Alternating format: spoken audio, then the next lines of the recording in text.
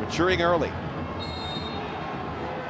Montero making that run. Espinoza to the near post, and it is tucked in.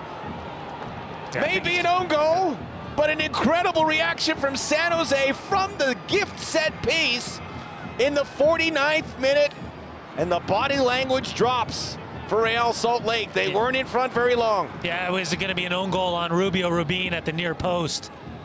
And as this ball comes in, and give credit to that man, Cristian Espinoza, it won't be his sixth goal of the season because of the deflection going in, but I mean, from, from this angle, watch Rubio collapse. It comes around, what is it, Montero and Zac MacMath.